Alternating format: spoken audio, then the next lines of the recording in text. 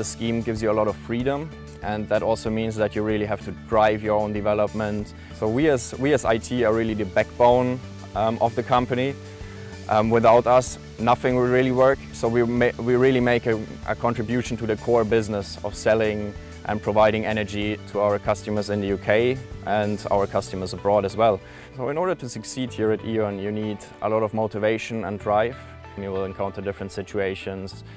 Um, every half a year you, you will um, get to know a new team, um, get to know a, a, new role. So this is um, something else that you have to keep in mind. What moves me on is really um, seeing what impact my work is making on E.ON and on our customers. And this is really my motivation and that really keeps me going and progressing.